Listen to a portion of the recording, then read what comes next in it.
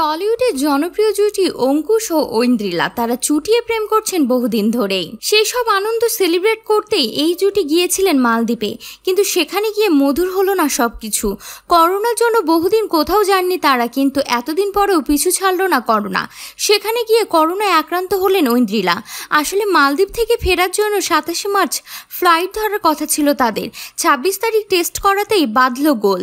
Positive report আসে ঐন্দ্রিলার কিন্তু Ankush negative ব্যাস, আর দেশে ফেরা হয়নি অভিনেত্রীর। বুধবার জন্মদিনে ফেরা হলো না তার।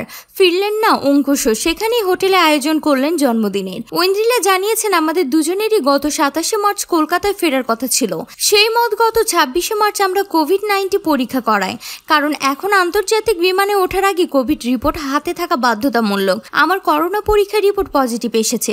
তবে অঙ্কুশ নেগেটিভ আমি সত্যি ভেবে উঠতে পারছি না সেটা কীভাবে সম্ভব।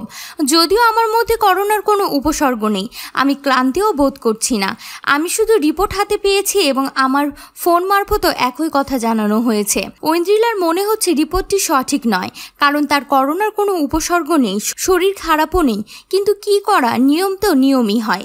তাই মালদ্বীপের রিসোর্টেই থাকতে হচ্ছে আইসোলেশনে এদিকে করোনা হলেও এই জুটি কিন্তু আলাদা ঘরে থাকছে না।